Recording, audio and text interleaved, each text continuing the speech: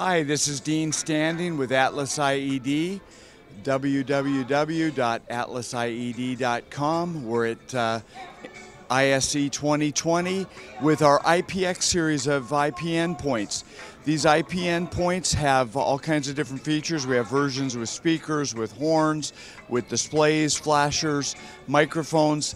These can be part of an ecosystem with most of the major IP based phone systems, they'll auto register, use the phone system as your head end, or we have our own controller and software if you want it in, in, in a self contained ecosystem. Solve a lot of problems for education, hospitals, corporate, because these will cover areas that a phone can't cover. Vandal proof versions, they will uh, can replace the scheduling system, the clock system, the intercom system, and uh, mass, provide mass notification. And the displays can actually do uh, visual messages to complement the audio messages so that you're able to, people with hearing disabilities are able to uh, see and read the messages that are presented.